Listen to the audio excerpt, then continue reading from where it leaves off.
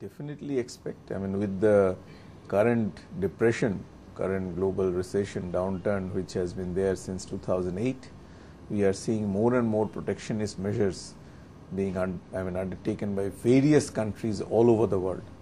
So obviously, you know, the so-called laissez-faire economy has become a completely utopic idea.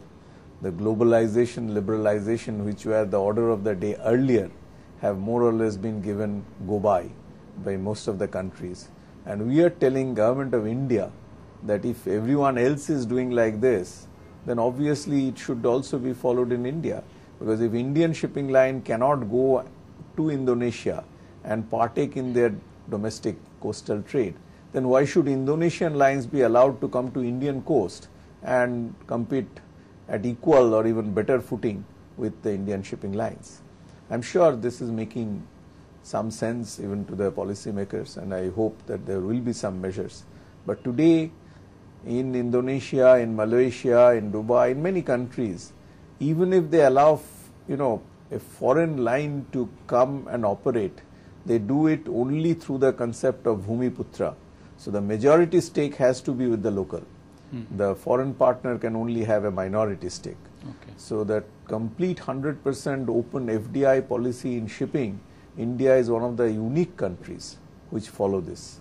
So we have raised these concerns with our uh, government of India because obviously we are in addition to the economic and commercial reasons we are also as Indian citizens very much concerned with the maritime security. What happened one year back 2611 in Mumbai has uh, proved beyond doubt that you know maritime security is one of the greatest concerns for the country.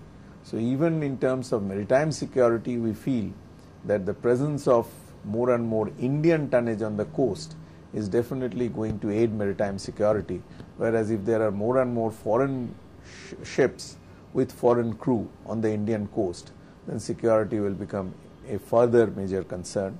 In addition to I mean, maritime security concern, also in terms of energy security, again, India must have a core fleet for carriage of its strategic commodities like crude, petroleum products, etc.